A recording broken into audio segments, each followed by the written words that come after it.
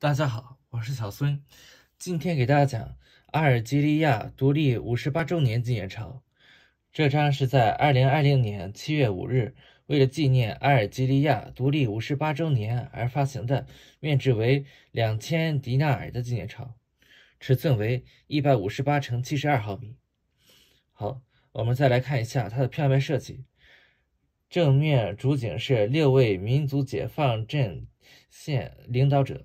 是一九五四年十一月一日革命爆发前的照片，从左到右分别是 Rabah Bitat、Mustafa Ben Boulad、Murad Didoch 和 Muhammad Boudiaf，左下是 Karim Badkasin，右下是 Rabi Ben Mid，然后右上角是。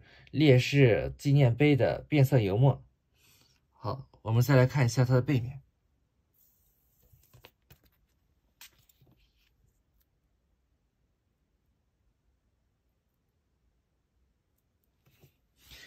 背面是阿德拉省伊玛迪桑和佛嘎拉本尼佛吉木。马德哈森是。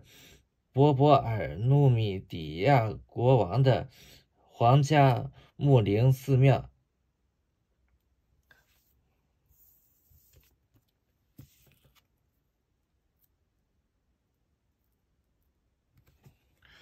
这张纪念钞的票面设计也挺有意思的，我也挺喜欢的。好，今天的视频就到这里，感谢您收看，期待您关注，我们下次再见。